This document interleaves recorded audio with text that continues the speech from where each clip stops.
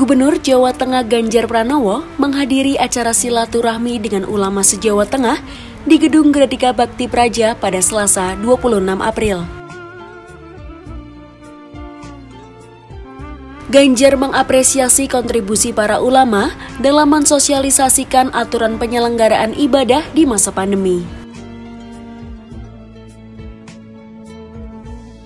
Para ulama juga mempunyai peran penting dalam menggerakkan program Jogo Tonggo, Jogo Kiai, dan Jogo Santri.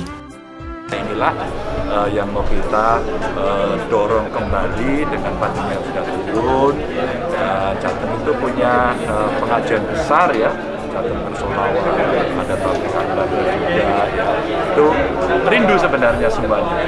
Kemarin dengan majelis ulama kita sudah bicara, ya besok kita akan sholat di tempat terbuka. Tapi sekaligus kita mengumumkan dan mengedukasi, ayo tetap jaga prokes.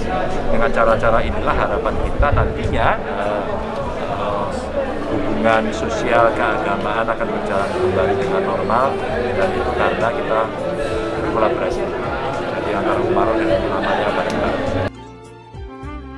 Melalui acara ini, Ganjar berharap hubungan antara Umaro dan ulama di Jawa Tengah terus terjalin dengan baik.